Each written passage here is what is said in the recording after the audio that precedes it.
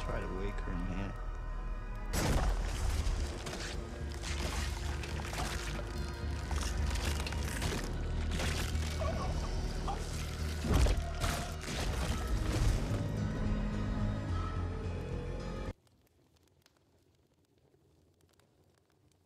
As a professional creator, half my job is back